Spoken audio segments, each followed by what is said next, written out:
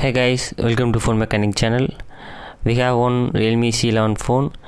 Today we have learned about how to enable screenshot in C11 phone. Here we go. First of all, open setting, then go to additional setting here. Then enable screenshot here. Scroll down, then enable three finger swipe down, then three finger touch and hold.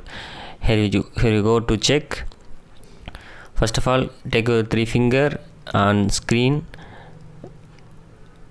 like that. You can get screenshot.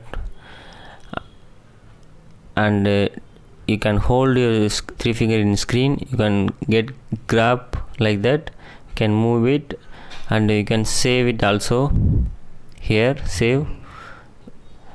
Another way screenshot. Press power button and volume down button together. Hold few minute few second you get screenshot. Thank you for watching friends. Please subscribe our channel like and comment and share. Thank you for watching